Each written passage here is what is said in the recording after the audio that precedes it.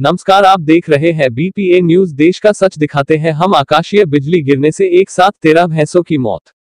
Mandana one क्षेत्र में बिजली गिरने से मरी भैंसे मंडाना निवासी बाबूलाल रेबारी की थी। भैंसे नायब तहसीलदार पटवारी, सरपंच व पशु चिकित्सक पहुँचे मौके पर। विधायक कल्पना देवी ने भी उचित मुआवजा दिलवाने का आश्वासन दिया।